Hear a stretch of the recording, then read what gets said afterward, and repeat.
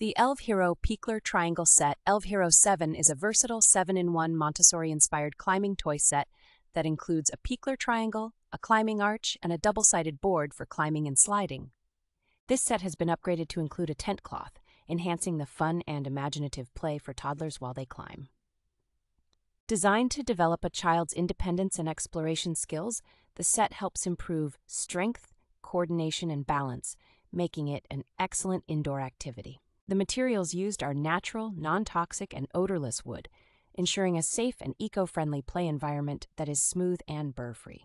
Assembly is straightforward with detailed instructions and all necessary hardware included. Plus, it is foldable for easy storage and portability. This climbing set is ideal for homes, daycares, and kindergartens, making it a thoughtful gift for birthdays, Christmas, and New Year.